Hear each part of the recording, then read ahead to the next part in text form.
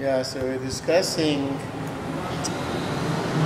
that uh, each person who comes to Breslov gets what he gets according to his uh, neshama, however you want to say it. In other words, my thing was not to connect to Levi Bender. You know, Moshe Binishchak, for instance, is very, very, very connected to, to Levi Bender because that's what he wanted. That was the finish Moshe. I didn't want to be connected to anybody. I didn't want, I didn't want anybody to boss me around. So I maintained my holy independence, maybe my mad independence. But still, I picked up, you know, here and there, I picked up some uh, some uh, perurim. In this form, certainly I learned. I'm a good learner. I'm, uh, uh, I can understand Sforim. So I got, I got a lot from Breslov. No question about it.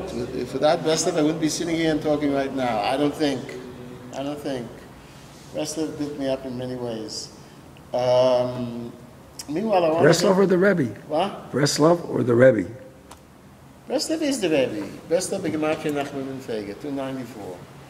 There is no difference between Breslov and the Rebbe. For people that Breslov is the building on 36 Salant Street, or Breslov is Rav Levi Yitzhak Bender, is Rachmanis. It's people like me who are independent who know what Breslov is. Breslov is the Rebbe.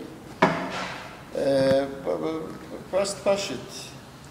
So, of course, there's other things also. There's Rabbi Rosenfeld, there's Rabbi Bender, there's this one, there's that one. There's a lot of, there's a lot of uh, prachim around the Rebbe's tree, but the main thing is Shmuel Shapiro.